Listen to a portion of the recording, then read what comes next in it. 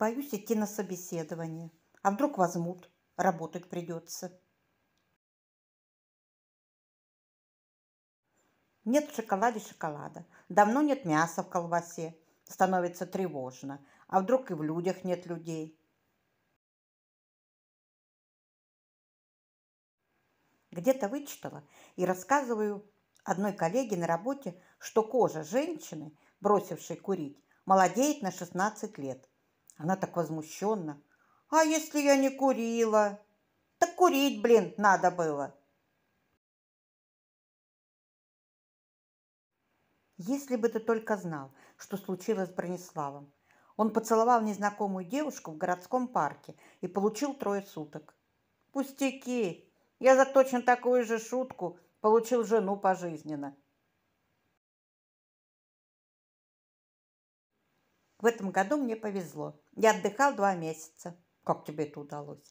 Когда я вернулся из отпуска, ушел в отпуск начальник. Тоже на месяц.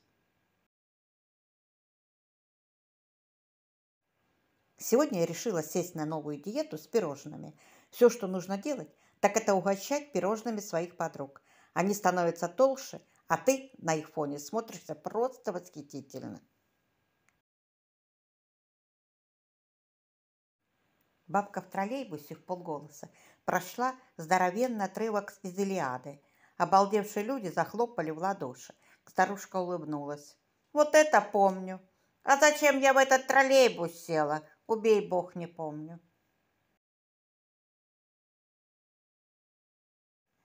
Если отбеливание зубов не приносит желаемого результата, завязывайте с походами к стоматологу. Начинайте ходить в солярий.